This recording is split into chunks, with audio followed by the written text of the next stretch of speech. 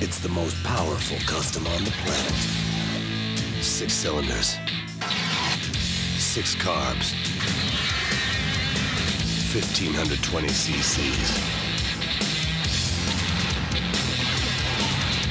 Only one motorcycle in the world can cruise like this.